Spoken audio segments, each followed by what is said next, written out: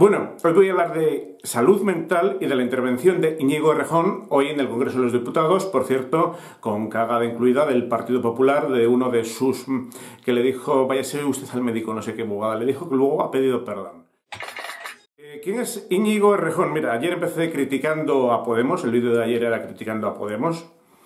Eh, Íñigo Errejón es uno de los cinco fundadores de Podemos, que por cierto ya no queda nadie, los ha echado eh, Pablo Iglesias a todos, se ha quedado el solo, como el macho alfa que manda. Bueno, Errejón es el que constituyó Más País, versión moderada de Podemos, y mira, ayer criticaba yo, eh, para que veáis que mi criterio es independiente, criticaba yo a Podemos, y hoy voy a hablar de bien de alguien que fundó dicho partido político. Bueno, la intervención de Íñigo Rejón ha estado bien, hablaba de la salud mental y criticaba al gobierno de España, me supongo, bueno, el, gobierno de España es, eh, está, formado por Podemos, o sea, el partido que él fundó, y por su amiguito del alma, el que le mandó a...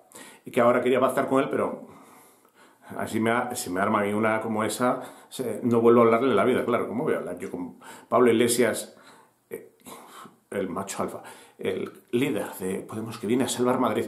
Bueno, eh, este no es el tema de hoy, es la intervención eh, hablando de salud mental. Y le doy toda la razón eh, a Rejón, está el tema muy mal. De hecho, creo que las cifras que tenemos son en España seis psicólogos en la pública por cada 100.000 habitantes. O sea, un tercio, menos de un tercio normalmente otros países tienen 20. O sea, fíjate qué mal estamos y pues alguien que va por la pública, que tiene un problema mental, eh, tiene que esperar de cita en cita, o sea, para ser oído y atendido por un profesional hasta tres meses. O sea, una persona que se va a suicidar, hoy te atiendo una hora, dentro de tres meses te atiendo otra, en medio se suicida, ¿no? Eh, ¿Quién tiene la culpa de esto? Hombre, pues ¿quién está gobernando? Podemos. Pablo Iglesias, Pedro Sánchez PSOE y Podemos. Si en dos años que llevan estos gobernando no se ha aumentado eh, la ratio, el número de, psicólogos por cada 100.000 habitantes, la tiene Pablo Iglesias, Podemos, y Pedro Sánchez. Que, mira, ha habido 451 millones para crear un Ministerio de Igualdad, hay 6.000 euros al mes para pagarle a cada ministro, 22 más chiringuitos, más asesores, más o sea, para esto todo hay dinero, pero no hay para contratar a psicólogos para ayudar a la gente, a la población española que está mal. Por una parte. Hasta aquí, primera parte. La, población está mal, el gobierno no ha hecho nada por ellos. Eh, parte 2. El gobierno, encima, en vez de no hacer nada por, por ayudar a la gente que tiene un problema mental, ha creado un problema mental en el resto de la población española, en 47 millones de habitantes no, pero se estima que 7 de cada 10, eh, no sé si eran jóvenes, por un montón de estadísticas he estudiado esta tarde a lo largo de... para preparar este vídeo, y hay gente, uno de cada tres eh, españoles han sentido angustia o depresión, ansiedad durante esta crisis del coronavirus. Vale, por un lado tenemos un gobierno que está dos años y no hace nada por ayudar a la gente, que tiene 451 millones de euros para crear un ministerio que no nos hace falta para nada, que bien estaría ese dinero empleado pues, en ayudar a familias pobres, que por cierto, el señor de las residencias de ancianos, Pablo Iglesias, aunque ahora lo negó, también es el, el, que se le llenaba la boca del ingreso mínimo vital, que no, que no llega por burocracia a la gente necesitada, o sea, porque han hecho un montón de papeleos porque no tienen dinero. O sea, gobierno de España no tiene dinero, pero para ayudar a la gente, a la población, o sea, eh, comunista, socialista, fíjate que socialista y que comunistas son, ¿cuánto se preocupan por los ciudadanos que no tienen dinero para ayudarles? A gente que, que no tiene ingreso mínimo vital, se llamaba dinero para comer. Esto lo iba a solucionar Pablo Iglesias hace ya no sé cuántos meses, no ha hecho nada y ahora se marcha del gobierno lo mejor que nos ha podido pasar. Gracias, Ayuso. Eh, bueno, volvamos al tema de la salud mental. Primero, por un lado, ella iba a hacer un remix de palabras. Por un lado, eh, no contratan más médicos, más psicólogos, más psiquiatras para ayudar a la población y eso que tienen 450 millones de euros y, bueno, 100.000 euros me, me, enteré ayer que costaba cada encuesta del CIS. Que sacaron otra ayer para decir que el PSOE suben, Ciudadanos no sé qué, ya hecha hace 15 días, claro, porque no había pasado lo de Murcia. 100.000 euros tirados a la basura, no hay dinero para, para ayudar a, ni a ingresos mínimos y tal, no hay dinero para eh, gente enferma, no, pero oye, para, para ellos, para 22 ministerios y todo esto sobra. Bueno, segundo, que me lío. Eh, primero, no ayuda a los que están mal y, segundo, eh, vuelven locos a todos los españoles. ¿Os acordáis de Fernando Simón? emergencia sanitaria, 15 días, estado de alarma, 15 días. Encerrados en nuestras casas en marzo del año pasado, del, 14 al, a finales. Luego lo prorrogó otros 15 días. Bueno, pues en ningún país de la Unión Europea se prorrogó tanto el confinamiento domiciliario como en España. Como Pedro Sánchez y Pablo Iglesias vivían en su chalet, en su mansión, en la Moncloa, en el, Palacete, donde vivan, en Galapagar, pues no tenían el problema y además iban todos los días de casa al trabajo. Si hubiese vivido en un piso de 60 metros cuadrados, Pablo Iglesias, tan comunista, tan que era, eh, pues igual se hubiesen replanteado esto como hicieron el resto de los países de la Unión Europea porque en ningún país el confinamiento fue como en España. Primero, no toman medidas para prevenir que entre el coronavirus, a pesar de que lo veían ahí en Italia. Segundo, siguen dejando venir vuelos de Italia hasta el 10 de marzo, a pesar de que el 28 lo tenían descontrolado. Eh, tercero, eh, no, no confinaron ni Madrid ni Valencia, no hicieron nada, dejaron permitieron concentraciones multitudinarias de gente, a pesar de que la OMS, a pesar de que Europa les había advertido que nada de concentraciones multitudinarias, incluso prohibieron a la iglesia evangélica un congreso, no sé qué, pero ellos autorizaron el 8M. Y una vez difundido, expandido el virus por toda España, hubo miles, cientos, cientos de muertos, luego miles de muertos, ahora 100.000 muertos, aunque el gobierno sigue manipulando las cifras y ha quitado 30.000 del medio para que no... Eh, para que no le resulte tan feo el número. Bueno, pues ya cuando el virus estuvo extendido por toda España, pues porque, porque decía Simón ante Évole el otro día y, y Sánchez reconoció ante Ferreras que hoy no le hubiesen votado el estado de alarma antes. O sea, que había que dejar infectar a la gente, a la población, y que el virus expandiera y que matase gente. Cuando ya eh, la, la situación se les fue de las manos, decretó un confinamiento domiciliario. 15 días, ya se, en 15 días se hubiese detectado quién tenía el virus y quién estaba sano. Pero el gobierno en 15 días no hizo nada, porque aunque se habían prevenido, según también el mentiroso Simón, desde enero, esto se lo dijo a Calleja en la otra entrevista que le concedió, pues sale mucho en la tele este hombre, tiene narcisismo por los medios, eh, pues oye, desde enero llevan preparando la pandemia, pero no habían comprado EPIs, ni guantes, ni mascarillas. No tenían ni mascarilla. Los médicos vistiéndose con bolsas de basura. Bueno, pues como en 15 días no hicieron nada, prorrogaron otra vez el estado de alarma y el confinamiento domiciliario otros 15 días, y otros 15 días, y otros 15 días, y así hasta 3 meses. Entonces la población española no se extrañe que se volviera loca.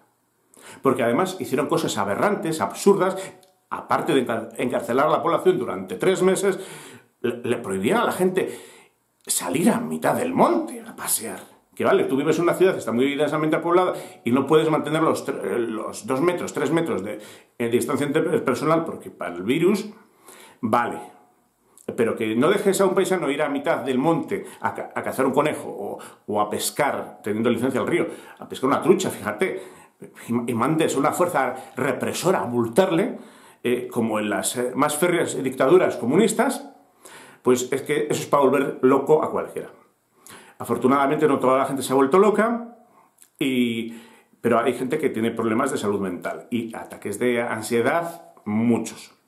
¿Qué ha hecho el gobierno para solucionarlo? Nada. Encima ha mandado a la Guardia Civil en plan represor y ha dejado a las comunidades autónomas manga por hombro hacer cosas tan absurdas como imponer el uso de la mascarilla a todo el mundo, sí o sí, o sea, y multar por ello, y, y prohibir a la gente derechos básicos como de, circulación. No les dejan, en algunos sitios no les han dejado salir del municipio.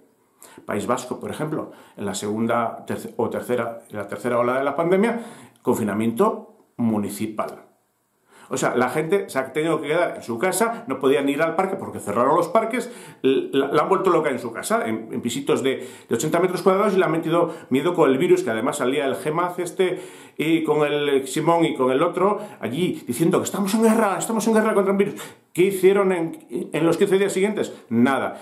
En China, ¿qué hicieron? Pues mandaron gente a los hogares y uno se sorprendía cuando lo veía en Navidades y les hicieron PCRs y dijeron, tú estás enfermo, acá, eh, y tú no estás enfermo, ya está. No, no, pero en España, como no había PCRs, bueno, no había PCRs. Para Carmen Calvo, que se contagió el 8M, casualidad, eh, tres o cuatro la hicieron. porque como una daba mal, otra daba bien, no sé qué, le hicieron tres o cuatro. Para ellas sí. Para personal médico sanitario no había PCRs. Para ellos había mascarillas. Para los médicos no había mascarillas. Bueno, una vez que consiguieron volver loco a todo el país, aunque ya la mitad estaba loco, porque para votar a estos elementos, muy cuerdo no ha, de estar uno, eh, han hecho eh, restricciones de derechos humanos, libertad de circulación, libertad de reunión. No os juntéis esta Navidad con la familia. Entonces, claro, si tienes a uno solo, aislado, en su casa, no puede ver a la familia, no puede salir a la calle, no puede ir en mitad del monte a respirar.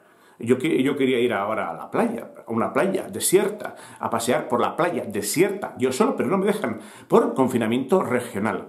Entonces, han vuelto a la población loca y de hecho dicen que la cuarta ola va a ser, por cierto, la cuarta ola ya está aquí, ¿eh?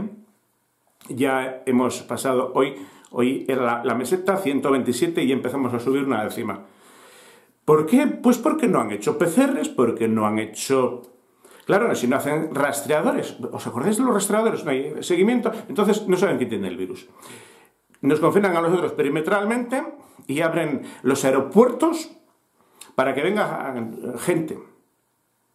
Vale, o sea, descubres que no tienes ya el virus en el país o que lo tienes muy controlado, como nos pasó en la primera ola, no, controlas, porque ¿qué hizo ¿Qué hizo Pedro Sánchez o, el señor Simón o el ministro de Sanidad, el señor Illa, en tres meses que nos estuvo encerrados? ¿Hizo algo? Mandó rastreadores, detectó los positivos asintomáticos y los aisló. No. Eh, una vez esto, abrieron las puertas y que los asintomáticos contagiasen a todo el mundo. Y luego, ay, segunda ola, volver a encerrar. Ay, ¿y han hecho algo? No y el radar COVID, no sé qué, pero ¿quién va a tener una aplicación para que te persiga el gobierno? En fin. Y tercera ola. No, no vayas bueno, no vayas a Navidad, no vayas no sé qué, no vayáis con la familia. Nosotros sí, él, él se iba a Doñana, él tenía la mujer para aquí, él iba a Petellá, viajes oficiales, ¿no? Eh, ellos han podido viajar, salir, no han estado confinados perimetralmente, Pedro Sánchez ha seguido con su agenda, Pablo Iglesias lo mismo, pueden ir de aquí a Barcelona, de Madrid a Barcelona sin problema, y mientras tienen volviéndose loca a la población a la que le han cerrado eh, todo, para que no pudieran hacer vida ninguna.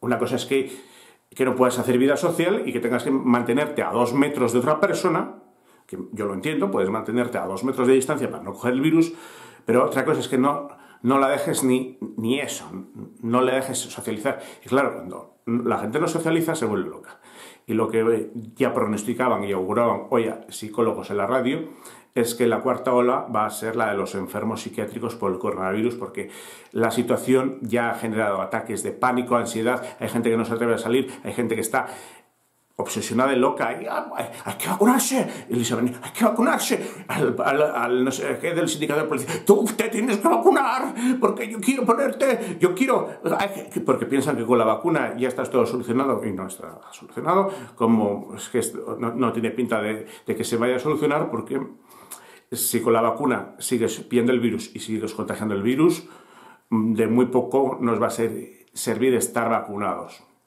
Muy buenos días.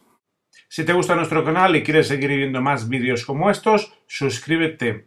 Es gratis y YouTube te avisará cada vez que subamos un vídeo. Y si te ha gustado este vídeo, dale un like. Muchas gracias.